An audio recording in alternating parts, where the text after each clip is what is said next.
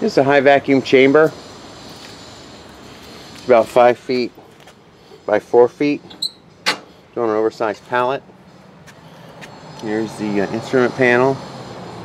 Obviously sold non-working. There's a label right there. Sight glass.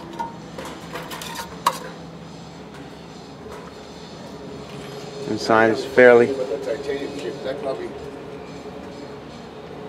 side is fairly clean. Hoses.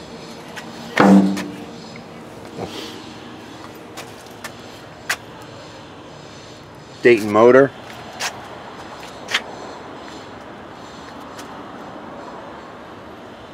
the guts out. Need, needs rewiring.